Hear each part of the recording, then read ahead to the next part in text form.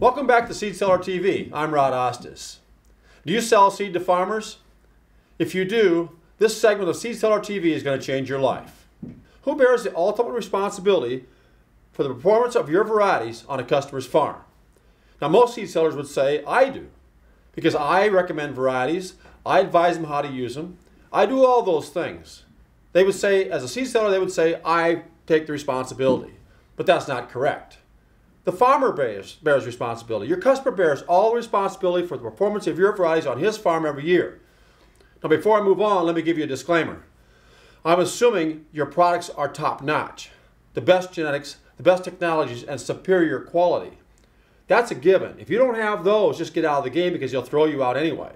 So I'm assuming your product is not a product issue or problem, problem in, the, in the process. Let me ask you one more question. What would it take to help performance get better?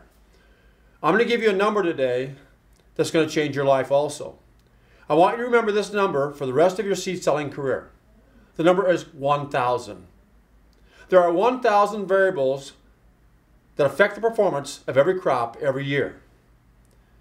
1,000 variables affect the intended performance of your products on a farmer's farm every single year. From management, coupled with environment, which is weather, insects, diseases, hot, cold, all the kind of things, coupled together, creates more than a 1,000 variables. And how many of those have we already had this year? Let me give you an example. Let's take one variable called water. Let's say we have too much water when the crop is growing. Too much water when? when the crop is in the V1, V2, V3, V4 veg vegetative stage, or the R1, R2, R3, R4 reproductive stage. When did we have too much water? When we'd have too little water. It was too dry. Or maybe had just right enough amount of water. It doesn't matter when it came. What matters is we have two different genetic packages. Could be both yours or yours and a competitor's being affected differently by these variables. So when you take water by itself, we can get more than 400 variables that affect a living organism just from water. Add all the other ones together, and now you have a living organism out there called your seed that is affected differently every year by how all these variables intermix with management.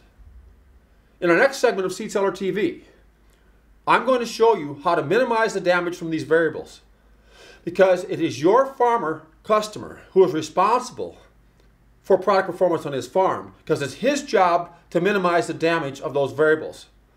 So next edition of Seed Seller TV, I'm going to show you how to minimize the damage from the 1,000 variables so your customer can really understand that it is his job to help your products perform on his farm. Thanks for watching. Seed Seller TV. We'll see you next time. This episode of Seed Seller Training TV is brought to you by the RC Thomas Company, the number one seed sales training firm in North America.